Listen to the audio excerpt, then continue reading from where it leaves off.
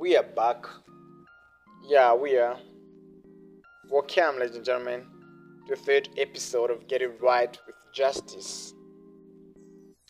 Today, we'll be discussing a very interesting Supreme Court judgment, and that is the case of New Plast Industries versus the Commissioner of Lands and the Attorney General.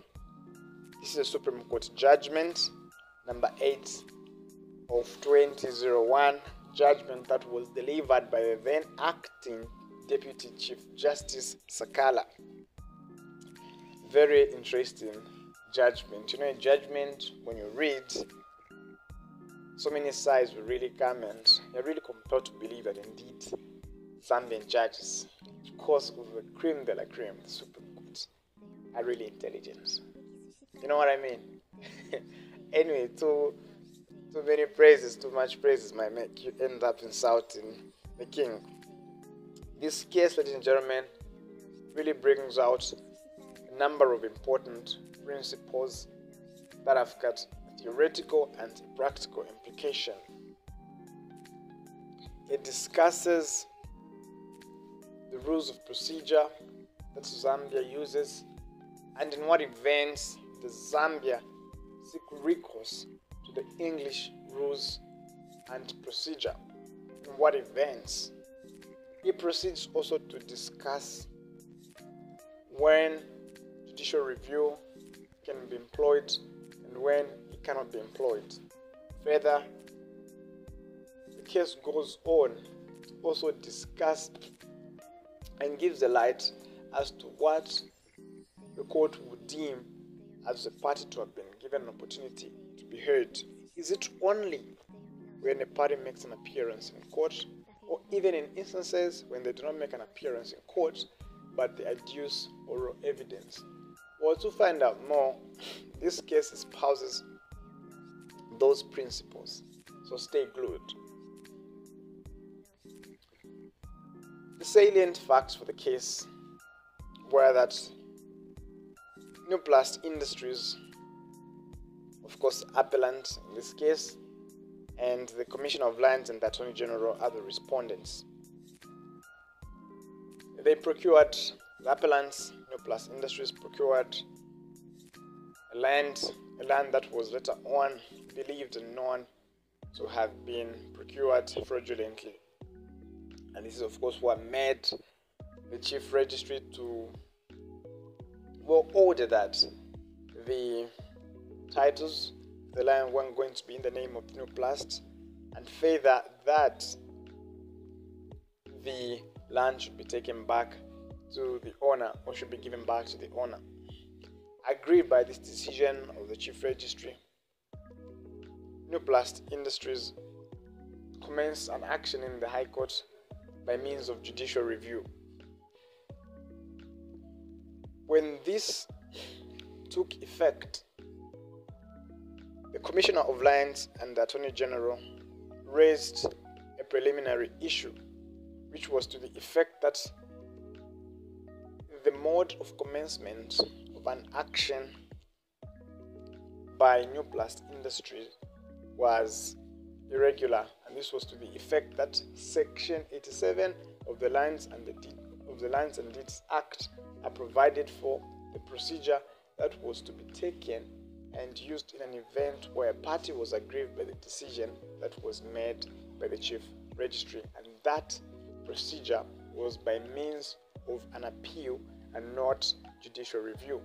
So, a preliminary issue is essentially a, a concern that a party raises before the judge, and this concern is, of course, urgent and it requires the court to place or put its attention to it.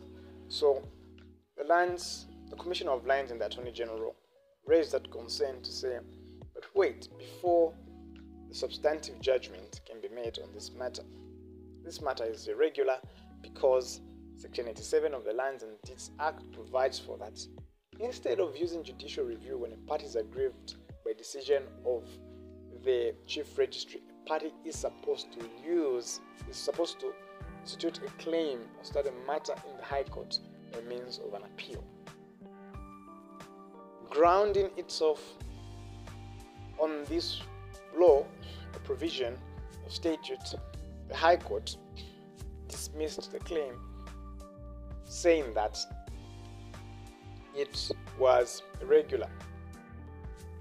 That was the ruling of the High Court, ruling that it was irregular because it wasn't supposed to be instituted in court by means of judicial review. The matter proceeded to the Supreme Court. Of course, again, New Plast Industries very much agreed this time around, saying that no, a decision that was taken by the High Court wasn't supposed to be taken in that particular order and sense, and this was because what compels the mode of commencement of an action in court is the kind of relief that is being sought, and this was really an you know a very very clever um, you know argument or contention that was actually raised by the appellant.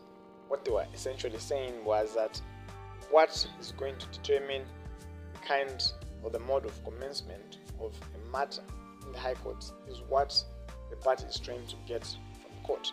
So in this sense, they were trying to seek a prerogative remedy. So prerogative remedy are those remedies that um, at the that are that that that are discretionary and they're given by by a court, not as of right, but is where a party obviously needs to ask the court, but the court, out of discretion, that is when they're going to give or grant that kind of remedy. And this is, of course, um, the party trying to obviously ask for prerogative remedies such as mandamus, um, a writ of certiorari, or prohibition. So this is what New Plast Industries contended. And on the other hand, the respondent really stood their ground to say this kind of commencement or mode of commencement was still irregular on the basis that the Act had already provided for the procedure that was to be taken. And this is what now the Supreme Court was left to, of course, ride on and make a determination of the arguments that were given by two parties. So the Supreme Court, in trying to determine this matter, had this to say. They first started by looking at Section 10 of the High Court Act. And Section 10 of the High Court Act provides for the rules and procedure that the High Court uses in determining matters that are brought before it.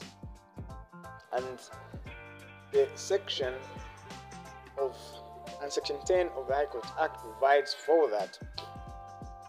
The court shall use the rules and procedure that are provided for in the act itself, any other written law, and in events where Zambian statute is silent for purposes of substantial conformity, the High Court shall take recourse to rules and procedure of the English courts. And of course, that is um, the High Court of uh, England, basically.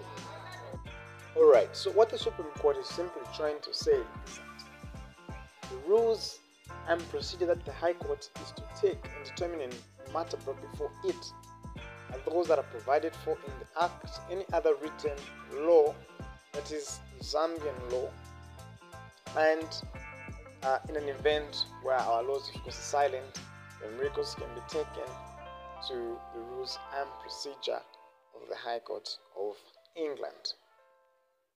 And of course, um, the Lands and Deeds Act was the any other law that had provided for the procedure that was to be taken if a matter was to be instituted in the High Court. Alright? And this is what the Supreme Court was trying to provide, or what was the Supreme Court was simply trying to guide.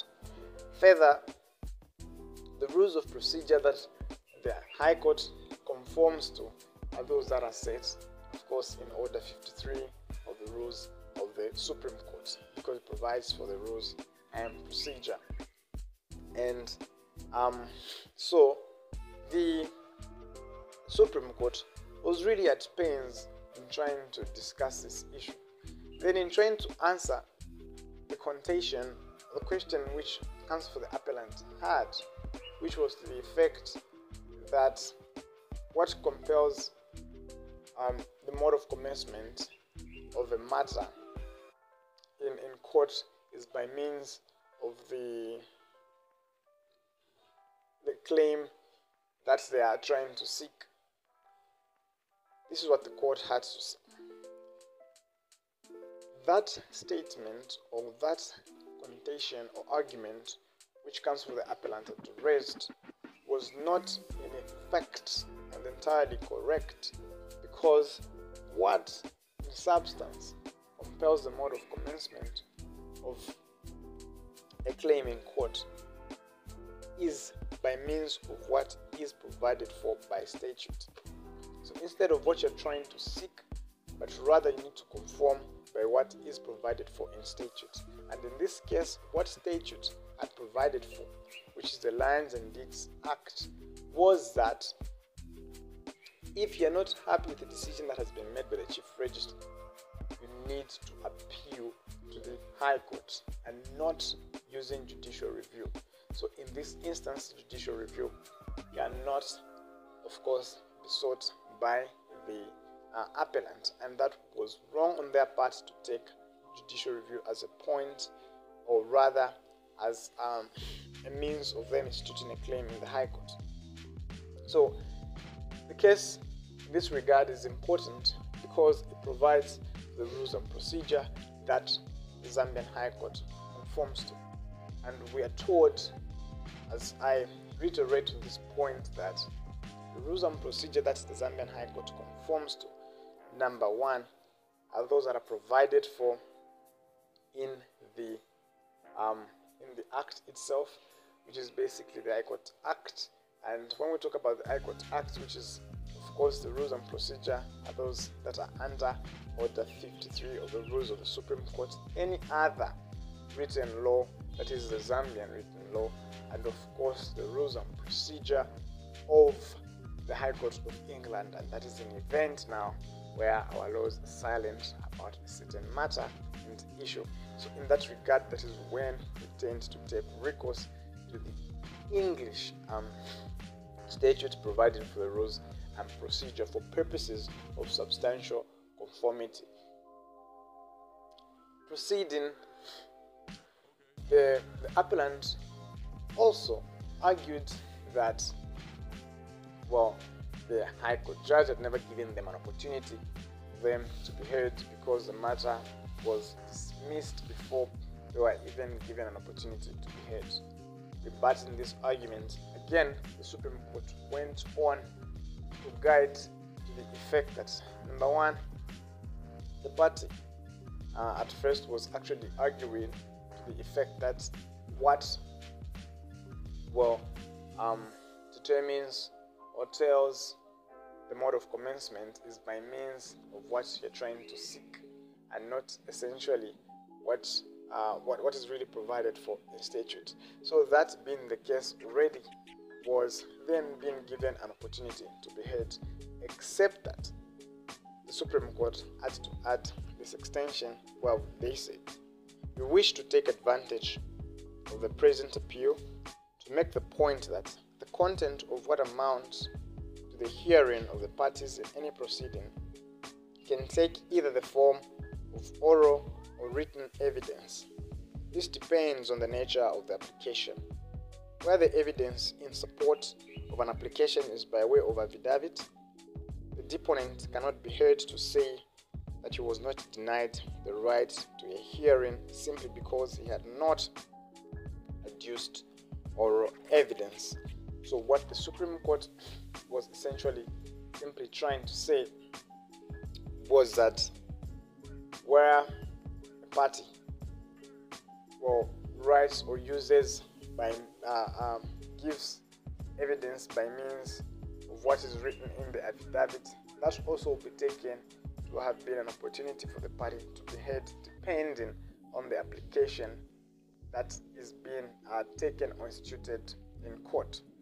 In other words, it is not the sole requirement that a party should always be in court present, but in an event where they rely on written evidence or oral evidence, such too will be taken if the party was actually given an opportunity also to be heard depending on the kind of application that was made.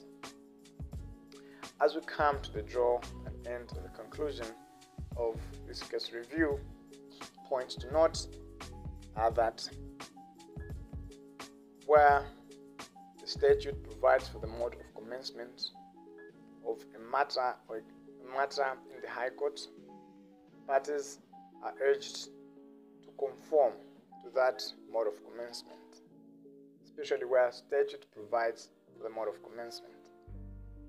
Second, being that the rules and procedure that the High Court conforms to are those that are essentially in the Act itself, which is basically the ones that are under Order 53 of the rules of the Supreme Court. Number two, any other written statutes. And thirdly, the purposes of substantial conformity, where our rules and procedure are silent on a matter that is when recourse can be taken to the rules and procedure of those provided for in the English High Court, the High Court of England. Furthermore, what determines the mode of commencement, I repeat, is what is written statute and not what is being sought by the party. And of course, judicial review cannot be sought if statute provides for a mode of commencement in court. And adducing oral evidence is also depending on the application that is that is being made uh, is also a way in which the court can actually take and deem that the party was actually given an opportunity for him or her to be heard. Well, thank you very much, ladies and gentlemen. This was